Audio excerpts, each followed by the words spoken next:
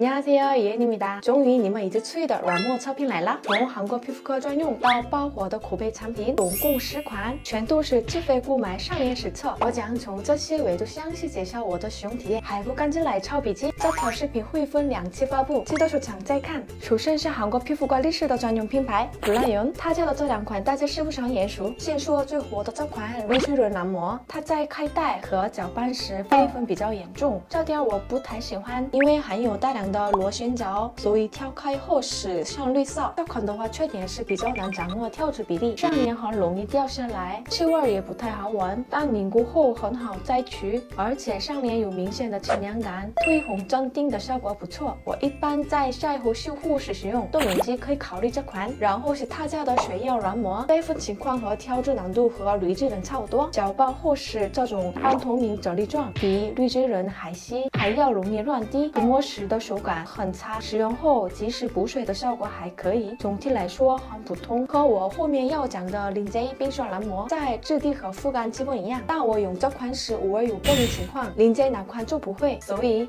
这巧。接着是原先品牌 S 贝尔的茶树软膜，这款在韩国一般是因为项目后容易舒缓的，它是这种淡黄色的面粉质地，飞粉情况可以接受，不过调制比例和一般的软膜有区别，搅拌时会有涩涩的感觉，所以要多放一些水。如果不迅速拌匀的话，很容易结块。我刚用的时候也失败了几次。不过这款上面涂抹的手感很好，凝固速度也比较慢，一次涂抹不到位也来得及调整。凝固后的封闭性也很好，因为是原先产品，所以上脸时温和不刺激的。不过这款性价比不太高，在中国也比较难买到，只推荐常做因为请部门尝试。k e l i Sense 的这款艾草软膜在韩国也很有人气，它的粉体是这种微微飞粉的淡绿色淀粉。搅拌很简单，基本不会结块，线修调配也很容易上手，刚涂上就能感受到服帖度很棒，有吸附老废角质的效果，而且上脸清清凉凉，补水舒缓的效果很明显。但这款凝固后边缘会直接看到掉粉，碰到这种情况的话，大家在涂时